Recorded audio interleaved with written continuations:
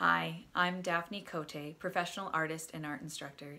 Today is March 24th, 2020, and I have started a new portrait drawing project where I create time-lapse videos of portrait drawings.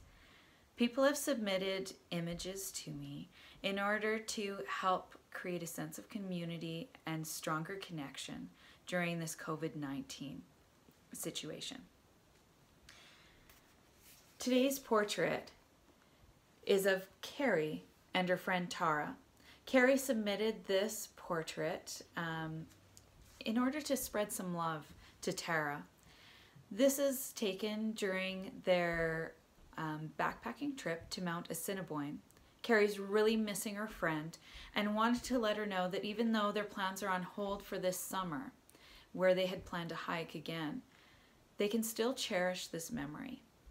So we just wanted to spread the love to more people. Um, typically, I do a lot of commission work where I get to meet with people and talk about um, commemorating a person or an event. And so this is just another way of doing that. Plus, you get to see the process and creation of the drawing.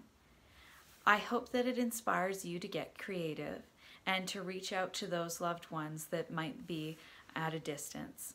Let's spread the love. I hope you enjoy this video. Thanks for watching.